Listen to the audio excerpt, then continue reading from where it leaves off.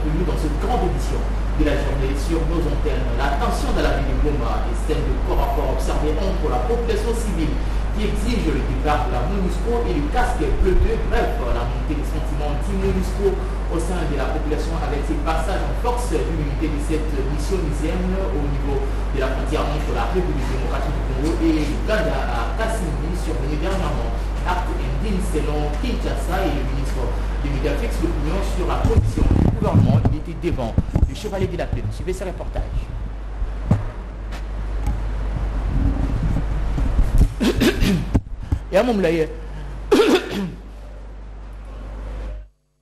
On ne peut pas, dans un contexte où, au lendemain de manifestations graves qui ont eu lieu à Goma, où il y a des soupçons sérieux qui pèsent sur des casques bleus, notamment sur qui a tiré sur la foule, accepter que des casques bleus tirent à bout portant et des sang-froid sur les populations qui sont censées protéger. C'est la gravité de ce qui s'est passé qui fait qu'aujourd'hui, le président de la République, comme il est le président et qui porte la voix des Congolais, les Congolais qui se sont exprimés majoritairement ont demandé, le collègue Paloukou l'a dit tout à l'heure, les départs demain, les départs dans un mois. Donc nous, comme gouvernement, nous ne pouvons pas rester inaudibles à ce que, dit, à ce que disent nos populations parce qu'il ne faudrait pas que demain, il y ait d'autres incidents dans un contexte où il n'y a plus de confiance. Alors ici, le président de la République nous a fait le privilège de faire la restitution de ses échanges avec le secrétaire général des Nations Unies, où il lui a dit clairement que aujourd'hui, la raison principale de toute cette situation, c'est l'agression rwandaise à travers l'M23. La frustration congolaise vient de là. En ce que nous savons que la MONUSCO dispose des moyens militaires pour nous appuyer.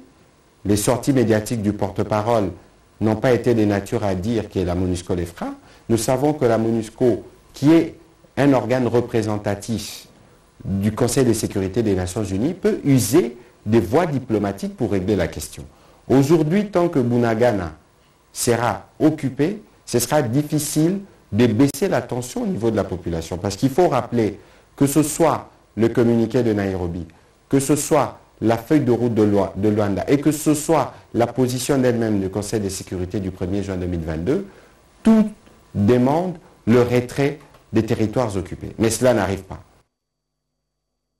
Kinshasa a les travaux de la sixième conférence annuelle de l'industrialisation de la SADEC, les assises visant la promotion de l'industrialisation par l'agro transformation et les chaînes de valeur régionales. Julien Paloukou, ministre de l'Industrie et gouverneur honoraire du Nord Kivu, faisait partie de la délégation gouvernementale pour calmer la tension après la manifestation anti-MONUSCO. Les dignitaires congolais submentionnés étaient au briefing sur la situation sécuritaire qui prévaut dans la partie est de la République démocratique du Congo. Extrait du ministre. Cette question nous concerne tous parce que le complot est tellement grand que si nous ne prenons pas conscience, effectivement, on ne peut pas s'empêcher de voir demain des choses en train d'éclater. Parce qu'il y a des discours qui se font au niveau international pour dire la RDC est un grand ensemble qui ne sait pas se gérer. Et que donc, il faudrait que la RDC soit réduite dans des petits ensembles qui sont facilement gérables. Ces discours-là sont de nature, effectivement, à nous amener vers un plan.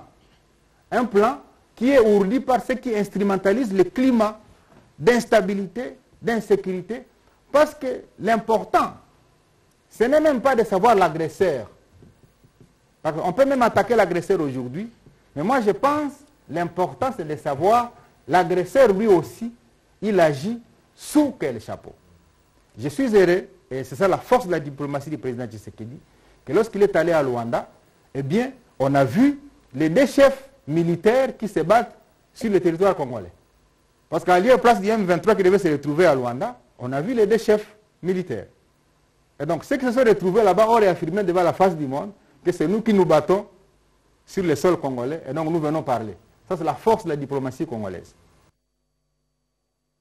Les regroupements et les dynamiques de pasteurs ressortissants de la province du Kwango confirment leur soutien aux institutions de la République. Ils l'ont fait savoir lors d'une matinée d'échange organisée dernièrement par le président de l'Assemblée nationale, Christopher Mbosso Kondiampwanga, occasion pour ces derniers de rejeter en bloc les mensonges selon lui destillés dans l'opinion contre le chef de l'État Félix Antoine Tshisekedi Chilombo. Sylvie Moembo sur les images de Bernard Baudot.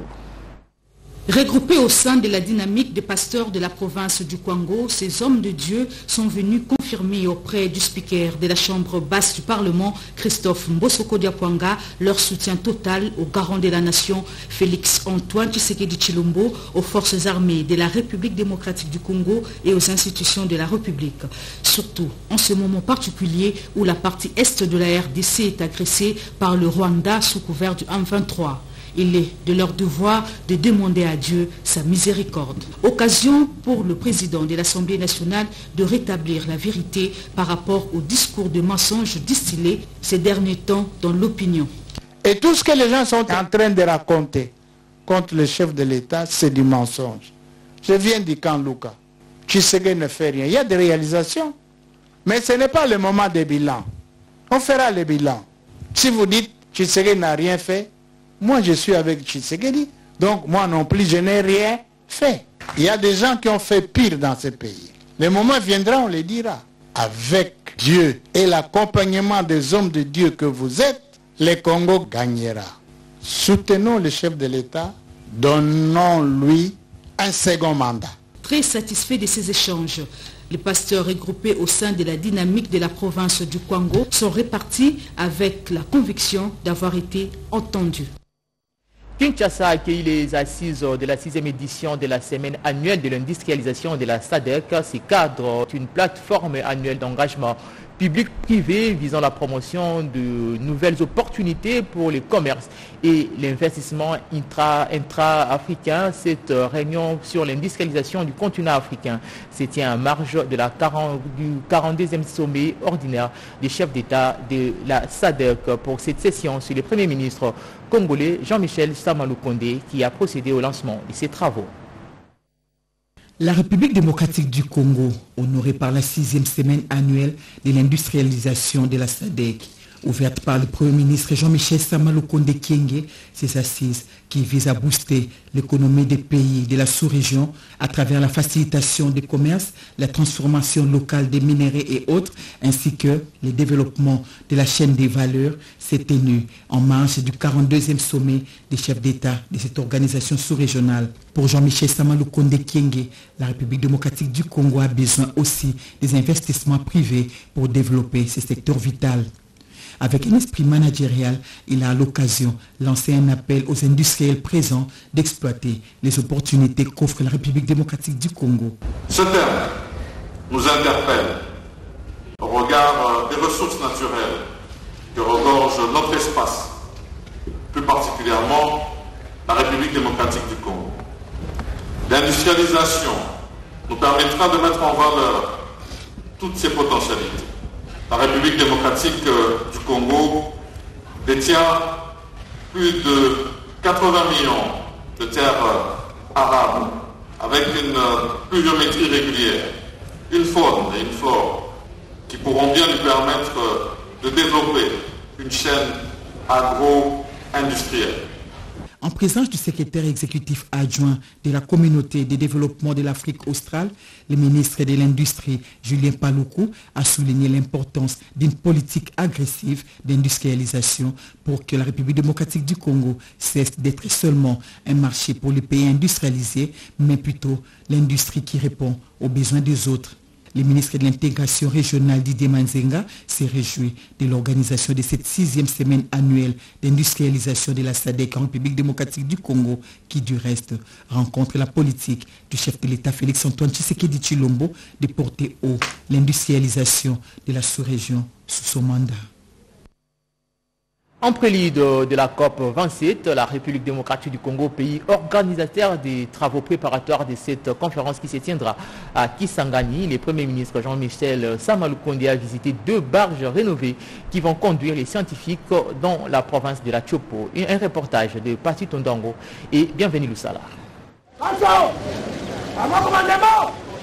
Les travaux préparatoires de la 27e conférence des partis sur les changements climatiques COP27 attendus à Kinshasa du 5 au 7 septembre 2022. Ces assises réuniront les scientifiques de tous les horizons du monde à Yangambi, dans la province de la Chopo. C'est l'essence qu'il faut donner à la descente du Premier ministre ce mardi dans la soirée au chantier naval de la SCPT, Exonatra, dans la commune de la Gombe, en compagnie de la vice-première ministre, ministre en charge du développement durable. Jean-Michel Samalou et F. Bazaïba inspectaient les barges Bassongue et Babouari entièrement rénovées à des fins de logements flottants pour les scientifiques des travaux de Yangambi. Les techniciens de la construction navale ont rénové ces barges avec l'appui de la vice-première ministre et ministre de l'Environnement, F. Bazaïba. Ces deux barges de 85 chambres à coucher, deux chambres spéciales, deux restaurants, deux cuisines, une bianderie, un hôpital, deux chambres pour l'équipage et des installations hygiéniques pour hommes et femmes quittent bientôt la capitale pour Yangambi. Au terme de la visite, le chef du gouvernement a loué l'initiative qu'il a qualifiée d'une première République démocratique du Congo. Je vais revenir sur euh, l'engagement son Excellence Monsieur le Président de la République, Félix Antoine Tshisekedi Chilombo, de faire euh, de la République euh, démocratique du Congo un pays solution. Une idée que je considère très originale de voir tous ces scientifiques profiter non seulement du spectacle de notre faune, de notre flore, de notre biodiversité, mais aussi dans le même cadre d'effectuer leur travail. Une collaboration entre la vice-primature de l'environnement et le ministère des Transports pour la réhabilitation de ces marchés qui appartiennent à la République démocratique du Congo et qui vont pouvoir permettre à ces scientifiques le déplacement de Kisangani à Yangambi où vont se faire leurs travaux. Ces travaux en prévision de la COP27 en Égypte constituent une occasion pour la République démocratique du Congo de réaffirmer sa position des pays solutions.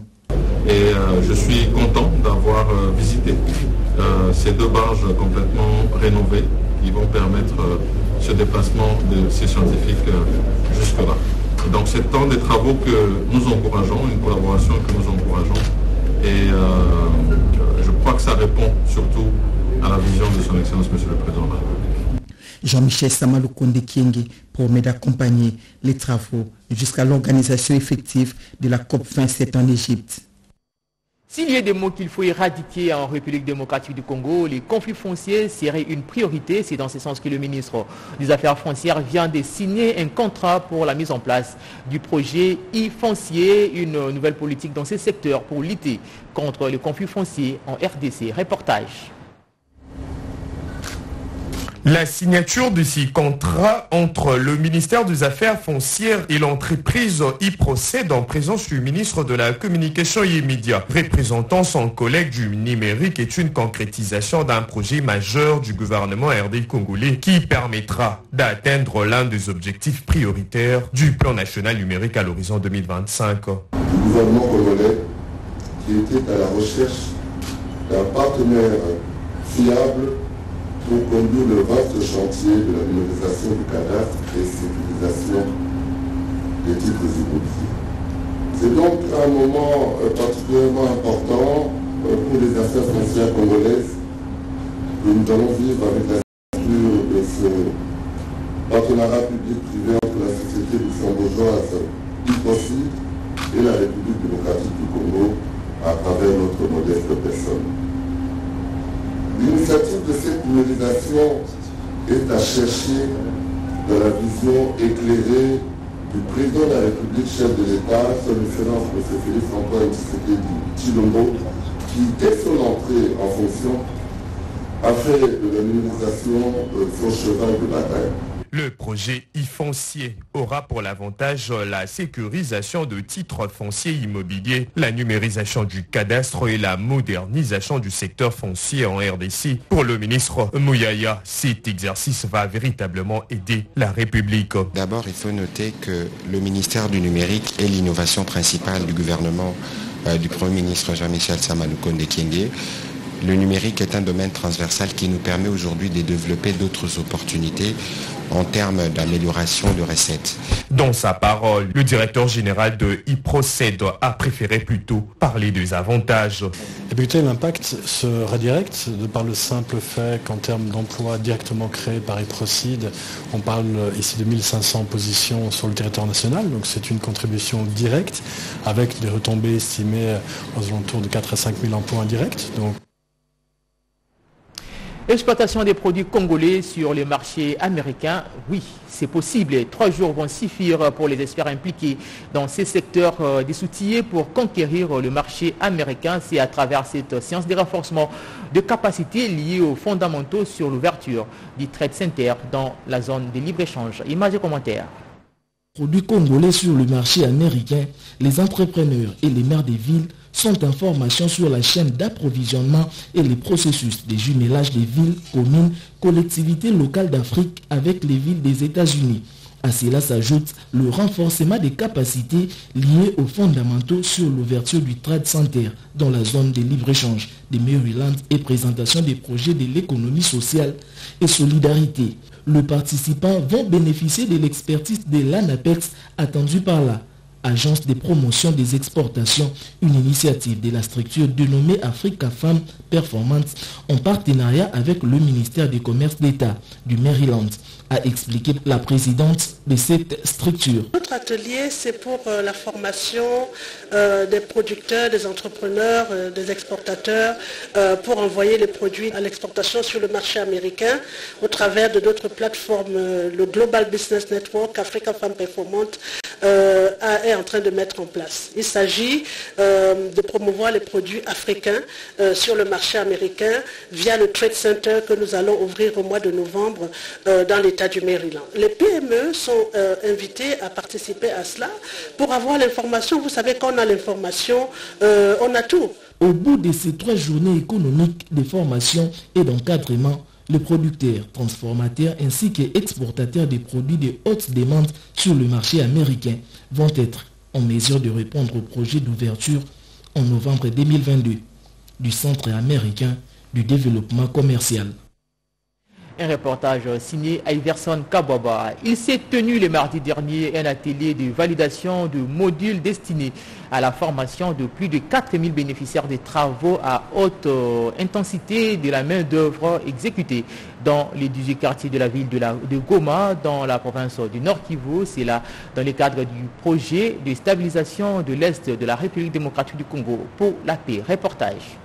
À Goma, ce mardi 2 août 2022, de l'atelier pédagogique sur la revue des approches méthodologiques de techniques d'animation pour un auditoire à faible niveau d'instruction et de valider les modules proposés par les agences locales d'exécution retenues pour les formations des mesures d'accompagnement de bénéficiaires. C'est dans l'objectif de former les formateurs des bénéficiaires du projet TIMO du Fonds social de la République afin de les aider à élaborer un business plan à la fin de leur contrat. En assurant la formation bénéficiaire de TIMO, la première des choses, c'est d'abord assurer la cohésion sociale. Après la formation, chaque bénéficiaire va nous présenter un plan d'action, un plan d'investissement dans ce plan d'investissement, chaque euh, bénéficiaire va nous montrer qu'est-ce qu'il fera avec l'argent qu'il a obtenu et le, le, frais d'investissement qu'on va lui donner. Didier Moubinzi, chef d'antenne du Fonds social au Nord Kivu, salue la tenue de cette formation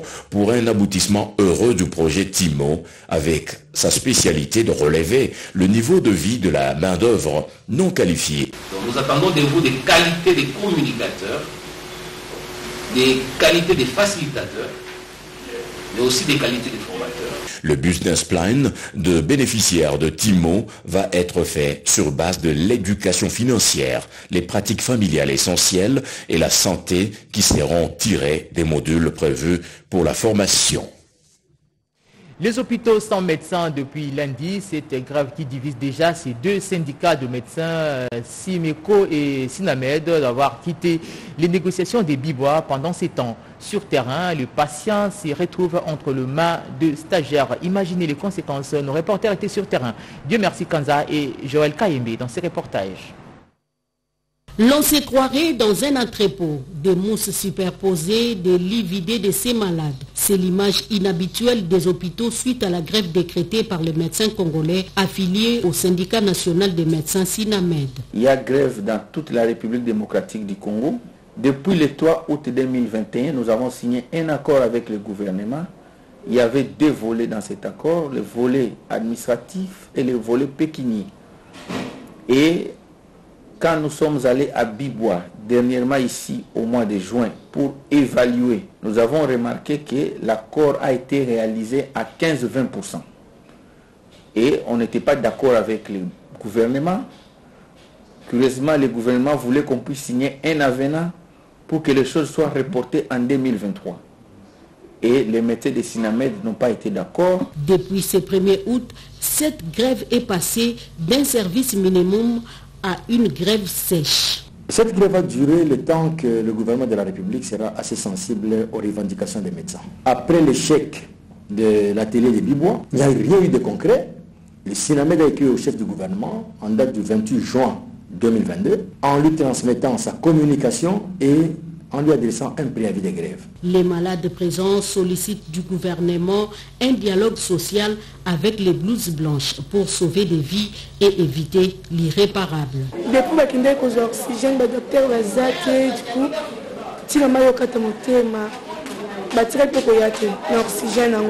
Notre maman avait besoin d'oxygène. Il n'y avait aucun médecin. Et depuis qu'ils sont partis chercher cet oxygène, ils ne sont jamais revenus jusqu'à ce que notre maman est décédée. négligence soki ekoma na niveau ya négligence eza parce que badocteur te kolia malamu ezali te bazosala misala makasi me mbongo malungi eza te Dans l'enceinte de quelques hôpitaux, les blouses blanches aperçues sont en majorité des médecins stagiaires et ceux affiliés au syndicat de médecins du Congo, SIMECO, qui n'observent pas la grève à la différence de SINAMED. Nous avons donc eu des négociations directes avec le gouvernement de la République, le SIMECO et le SINAMED, à l'issue desquelles nous avons adopté ensemble un avenant à l'accord du 3 août 2021, accord, avenant à l'accord qui devait être signé à la clôture officielle des assises de Bibois.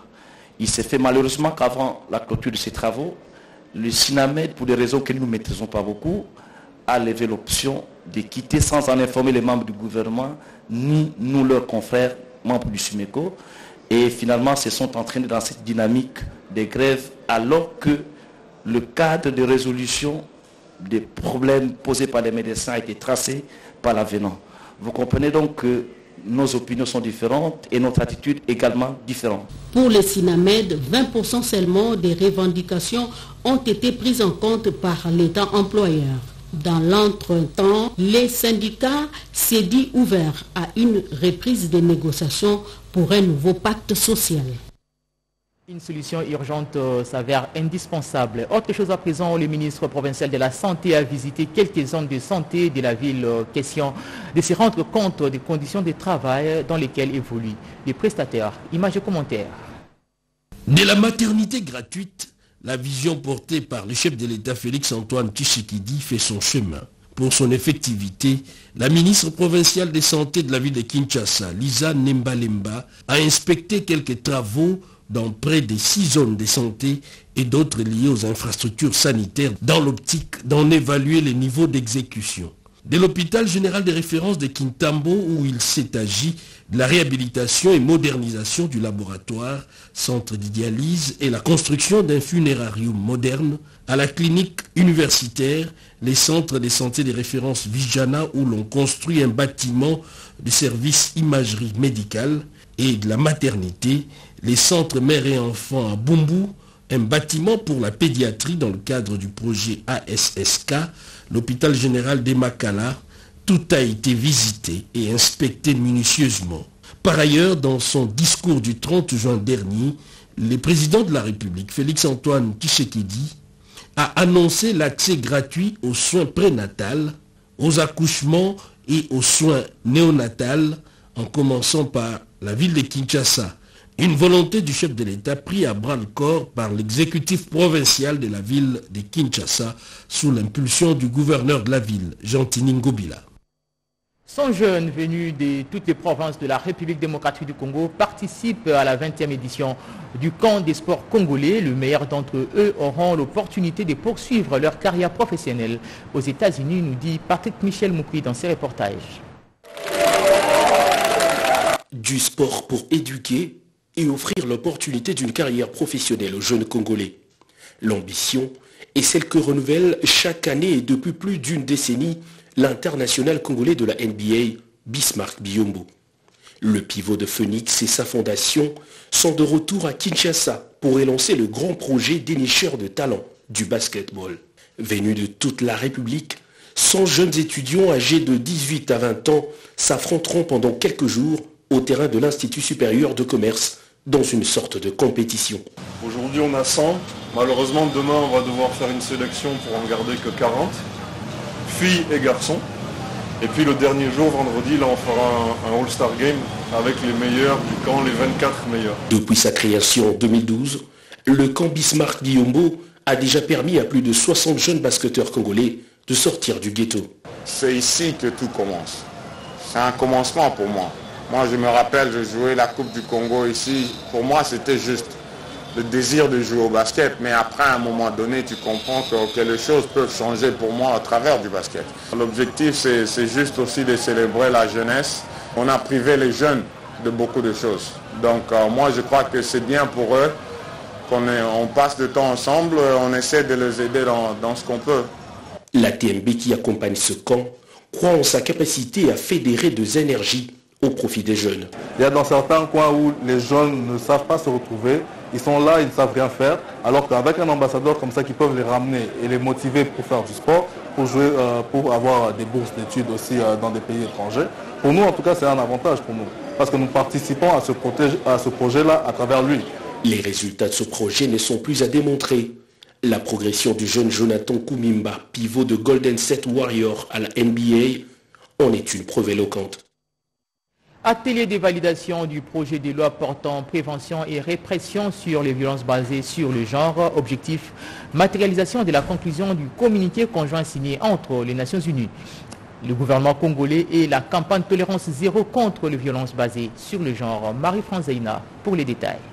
Doter la République démocratique du Congo pour la toute première fois d'une loi portant prévention et répression des violences basées sur les genres, hormis d'autres lois déjà proposées, tel est l'objectif poursuivi au cours d'un atelier de trois jours organisé du 2 au 4 août à Kinshasa sous le leadership du cabinet du chef de l'État, Félix-Antoine Tshisekedi Chulombo, par le biais de la conseillère spéciale du président de la République en charge de la jeunesse et de lutte contre les violences faites à la femme, Chantal Yelou Moulot. Cela en dépit des multiples cas de violences qui ne cessent d'exacerber dans l'Est de la République démocratique du Congo afin que ceci soit éradiqué dans toutes ses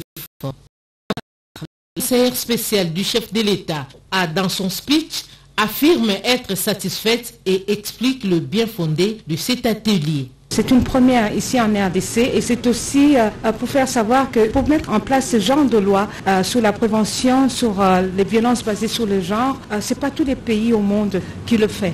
Là, nous, on a la chance d'avoir un président de la République champion de la masculinité positive, qui a mis en place un système pour lutter avec tout ce qui est violence faite à la femme.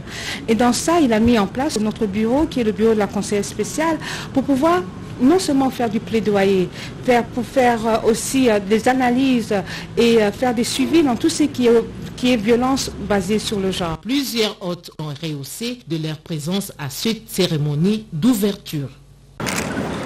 Des travaux de la voirie de Kinshasa qui évoluent à pas de géant, ajoutent à cela des initiatives de développement pour améliorer les conditions de vie de la population. Le président de la dynamique Kitengezo apporte son soutien aux actions du chef de l'État. D'autres détails dans ces reportages signés Cédric Kenina.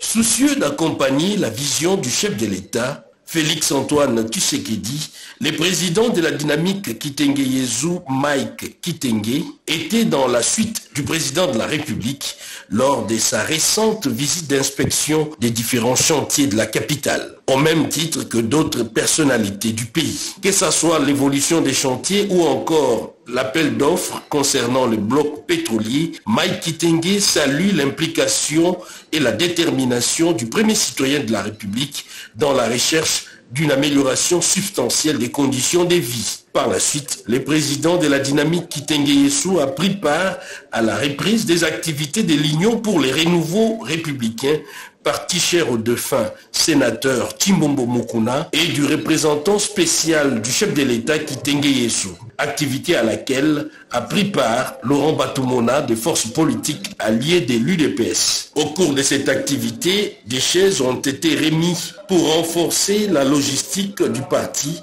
et Mike Tengue a profité de cette occasion pour condamner la réaction de la MONUSCO à la frontière de Kassindi où une unité a ouvert le feu délibérément sur les services commis à ces postes frontaliers. Ces derniers réitèrent également sa loyauté aux institutions de la République et au président de la République, Félix Antoine Tshisekedi.